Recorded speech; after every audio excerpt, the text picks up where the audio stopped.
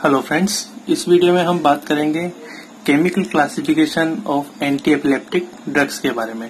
तो ये जो केमिकल क्लासिफिकेशन है एंटी एपिलेप्टिक ड्रग्स का, इसको अपन एक ट्रिक से याद कर सकते हैं, जो ट्रिक है भाई साहब। ओके बी का मतलब है हमारे पास यहाँ पे बारबिचुरेट एस से मतलब है हमारे पास हाइडेंटोइन ए से मतलब है हमारे पास एलिफेटिक कार्बोक्सिलिक एसिड डेरिवेटिव्स आई से इम्यूनो स्टिलबेंस एस से बनता है हमारे पास सक्सिनामाइड ए से बनता है। हम ए को हम अदर्स के लिए यूज़ ले रहे हैं यहाँ पे। ओ नहीं है सॉरी यहाँ पे ए से मतलब हम अदर्स को बोलते हैं, ठीक है? अदर्स और बी से बनता है हमारे पास कौन सा?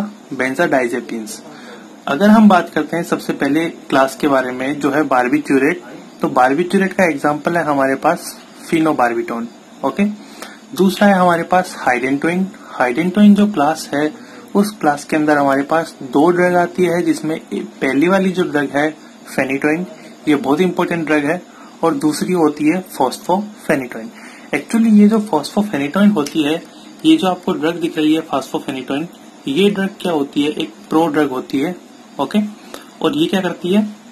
कुछ मेटाबॉलिक रिएक्शंस के द्वारा फेनिटोइन का फॉर्मेशन करती है.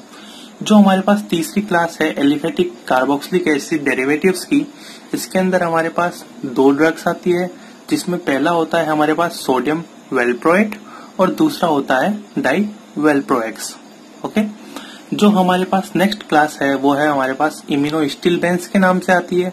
इसके अंदर हमें दो ड्रग्स के नाम याद करने हैं। एक तो है हमारे पास कार्बामाजेपिन और एक है हमारे पास कौन सी?